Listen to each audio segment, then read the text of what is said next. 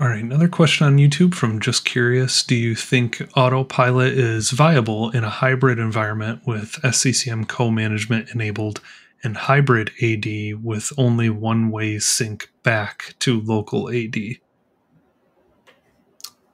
Uh, so the hybrid autopilot scenarios requires a second connector to request the offline domain objects. You can't just have the AD connect. That connector is not enough. You, you need the Intune connector also for that.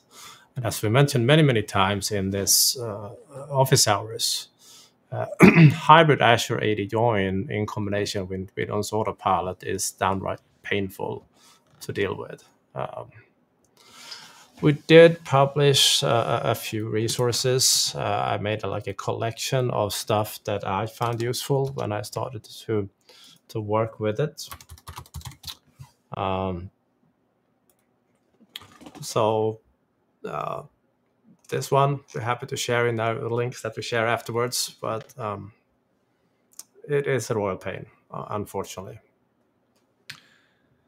Yeah, I mean, I think in my experience, um, or my opinion, uh, you know, if you want to go hybrid um, or co-managed more appropriately, starting with autopilot and rolling into Intune as well as installing the config manager client, that's fairly straightforward and I think pretty viable still today in in a lot of organizations. But um, of course, I think you'll hear um, it, it, can't always be done, but I think you'll hear most of us say just try to avoid hybrid as much as possible, at least when it as it relates to the device object in Active Directory and Azure Active Directory.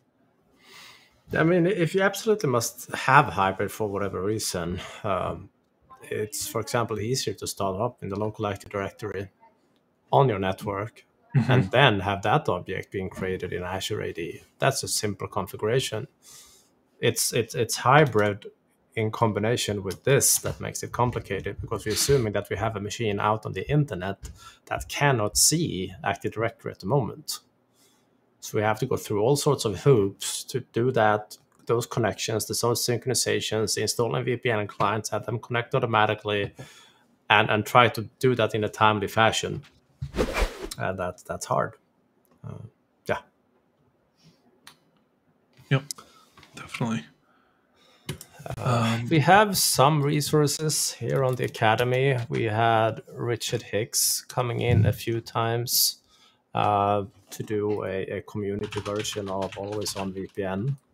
Uh, he covers a lot of those complexities uh, in that session. So if you want to do like deep dive, it, uh, by all means, uh, we have two recordings of this one available. The one he did this summer, and one from earlier this year. And this is also a free course, so maybe start there.